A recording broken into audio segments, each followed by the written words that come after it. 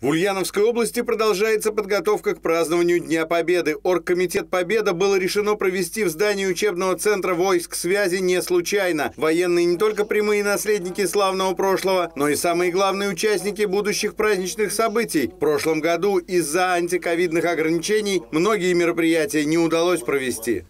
Поручение э, нашему патриотическому центру, чтобы э, в ближайшее время выехали в Москву и э, изучили работу учебно-методического центра «Авангард», который был э, учрежден правительством Москвы, Московской области при поддержке Министерства обороны Российской Федерации.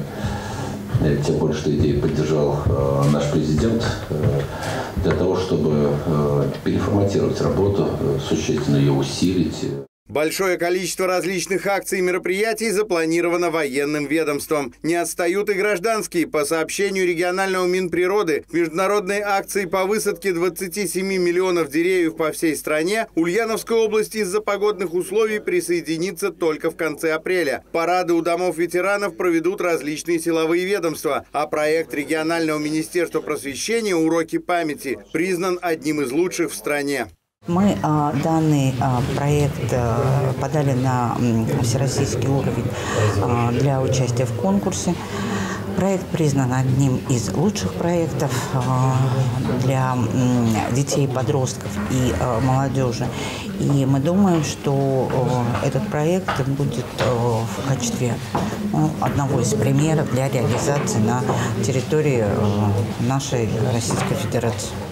Программа и график уроков памяти расписаны на два с половиной года. Его цель – системно рассказать детям об истории родного края в контексте истории нашей страны. Практически во всех акциях участвует региональное военно-историческое общество. Многие площадки празднования и подготовки к празднику работают с их подачи. Это и благоустройство территории региона, и участие в акции «Лес Победы», и установка памятников.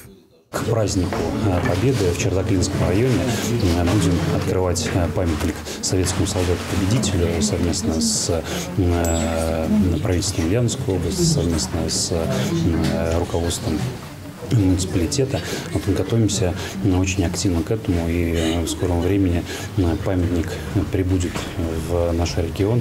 Мы займемся уже непосредственно установкой и подготовкой к открытию.